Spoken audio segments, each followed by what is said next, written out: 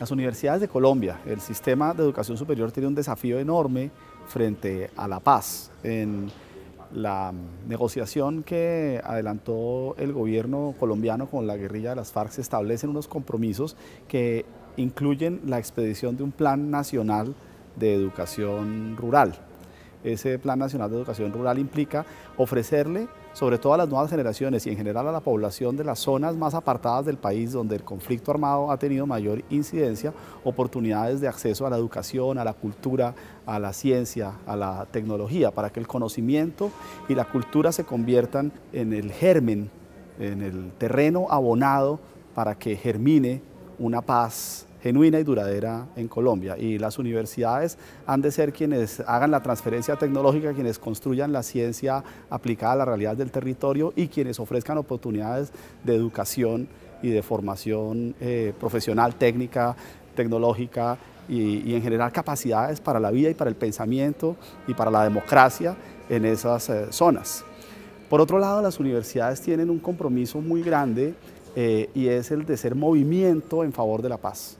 Es decir, este es un momento histórico donde lo que se dice es apostemos por la civilización y la universidad es el mundo de la civilización. Luego, si Colombia le va a apostar a una cosa distinta a la barbarie, distinta a la guerra, gracias a este acuerdo de paz, es si eh, el millón de estudiantes universitarios que tiene este país, si todos los estudiantes de las universidades públicas y privadas del país, y muy particularmente eh, las universidades estatales, aquí estamos en una reunión del sistema universitario estatal, impulsan el entusiasmo en torno a la paz. En este momento el entusiasmo en torno a la paz pasa por todas esas reformas como el Plan Nacional de Educación Rural, pero pasa en lo inmediato por la aprobación de un plebiscito con el cual la población colombiana refrendará los acuerdos de paz. Y la, la, participación tiene que ser masiva y entusiasta en eso para que sea un propósito nacional la paz de Colombia.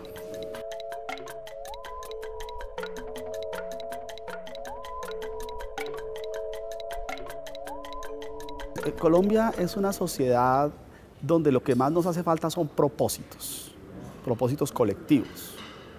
Hay muchas maneras y muchos ejemplos para expresarlo. Voy a poner una anécdota. Un matemático japonés que vivía en Colombia, alguna vez algún periodista le preguntó si era que los japoneses eran más inteligentes que los colombianos. Y el señor Samaú Takeuchi, en vez de dar una respuesta políticamente correcta y decir, no, ¿cómo se le ocurre? Dijo, mire, un colombiano es más inteligente que un japonés, pero dos japoneses son más inteligentes que dos colombianos.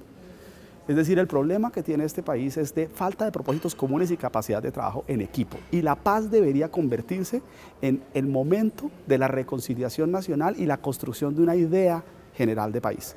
¿Qué es un plebiscito? ¿Qué es un momento de refrendación? Es un momento en el cual unos dicen estoy de acuerdo, otros dicen no estoy de acuerdo. Si gana el no estoy de acuerdo, pues todos tendremos que aceptar que no queda más camino que seguir derrotando por la vía militar a la insurgencia armada. Si gana el sí, todos deberíamos estar de acuerdo en construir las instituciones de la paz, reducir eh, el aparato militar y apostarle al conocimiento, a la civilización, a la cultura, a la ciencia. Pero debería ser un acuerdo de todos, los que ganen y los que pierdan, o los que ganemos y los que perdamos. Ya veremos cuál es el resultado. Lo que no puede pasar es que deslegitimemos el proceso y digamos, no, es que si gana el que piensa contrario a mí, si gana el no, por ejemplo, o si gana el sí, entonces va a ser el fin de la humanidad. No, si gana lo que gane, todos nos comprometemos a trabajar juntos en función de la decisión del pueblo colombiano. Es que es increíble que seamos el único país de América que conserva un conflicto que lo ha conservado este por 50 o 60 años, pero la suma de las guerras civiles por siglos y no nos planteemos siquiera la idea de transitar hacia una sociedad en la cual la guerra no es un elemento. La política sí, el conflicto social sí, pero la guerra no.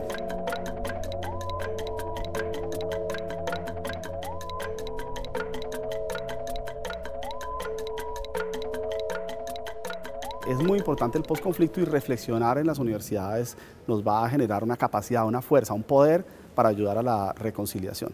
Es un gusto eh, estar acá y es un placer que las universidades tengan estos medios de comunicación críticos tan importantes como son.